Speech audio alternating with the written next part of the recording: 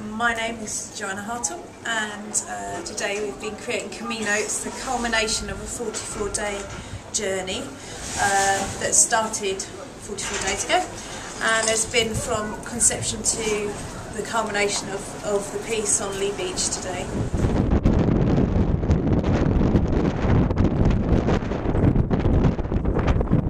It's, it started from a process of um, the, the idea for Camino came about by wanting to do a labyrinth for um, my next major public realm piece. So, and I've been quite fascinated with the Camino de Santiago de Compostela, uh, which is between 28 days and 50 days.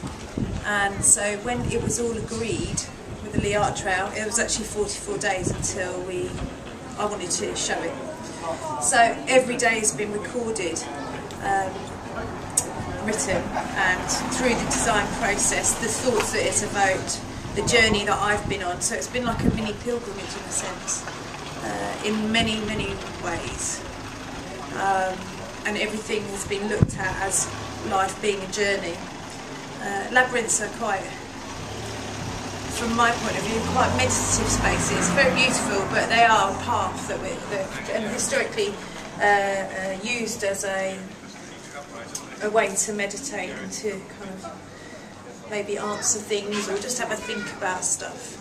So um, in the creation of that today, it's been quite it's been quite free. Although it's been um, it was designed. I designed. Um, in three dimensions, like with clay, then I photograph it, then it's put into digital media to create the imagery, and then it's uh, then created from the di digital imagery, uh, in this time with just freehand today, or not freehand, free foot actually, a lot of it was done with my feet. Um, but um, when it travels, it will go as a light projection because my background is lighting, and that's why historically that's where I that's how I design. Design with it being seen as a projection. So, challenge to me because it's the first time I've ever had to create without a light.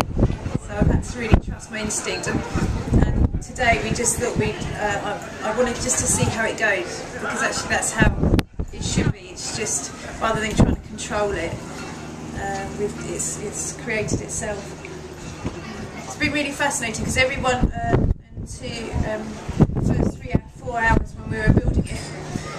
Nobody was on the mud in shoes, everyone was barefoot.